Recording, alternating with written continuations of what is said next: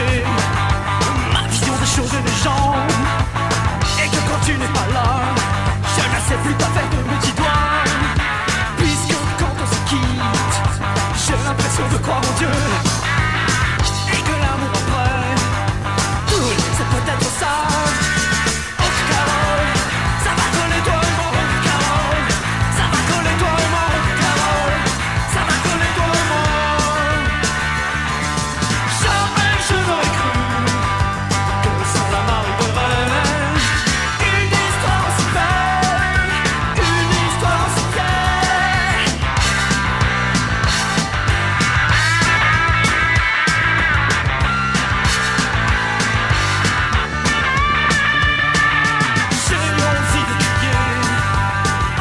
je te.